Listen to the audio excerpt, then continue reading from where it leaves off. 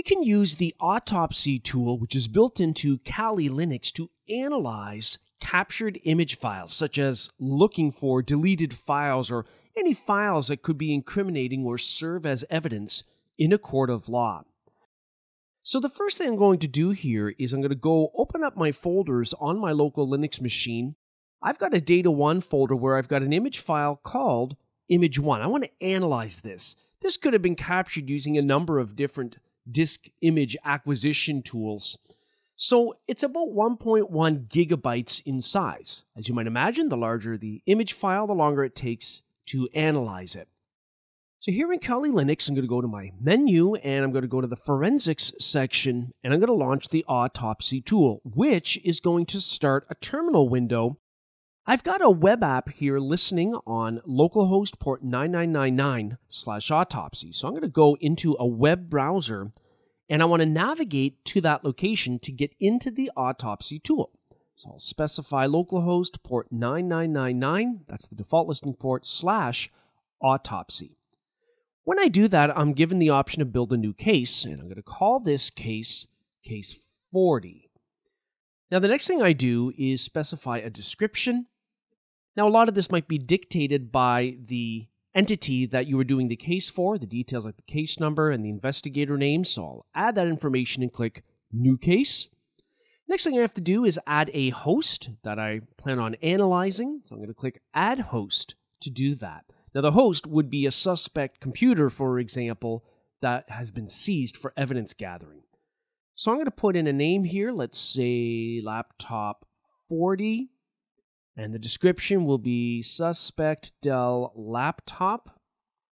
We can also specify a time zone, so we have a relative time item to measure date and timestamps against. I'm going to click Add Image now for that host.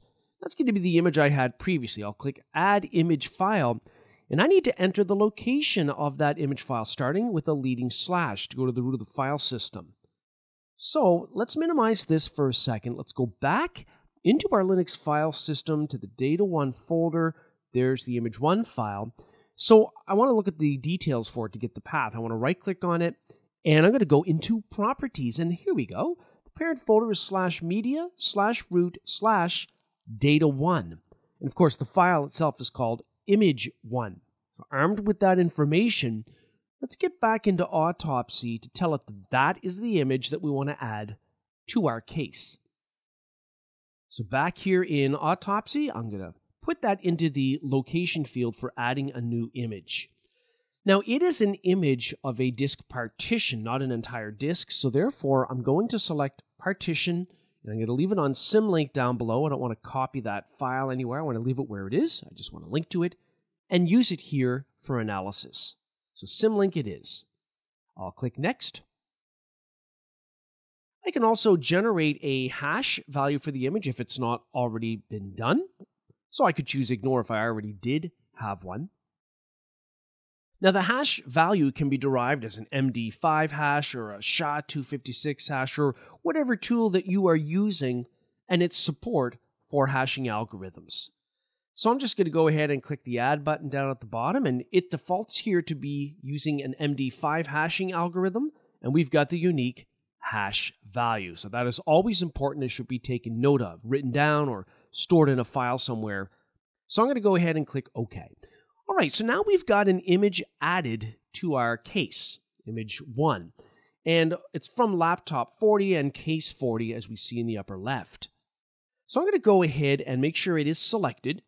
And I'm going to click the Analyze button down below. Basically, I want to see what's on that file system. So I'll click the File Analysis button to start doing that. And from here, I've got a couple of root directory entries, but as I scroll down, I'm starting to see other entries. I've got an item here, 2.jpg red, which implies that it was deleted.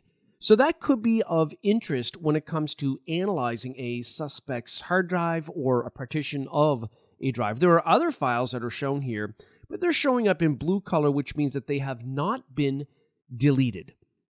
Now, there are plenty of tools for recovering deleted files. If I click here on a file that's not been deleted, we can see in this case a thumbnail. It's a picture of a hard drive. But what about the deleted entries like 2.jpg?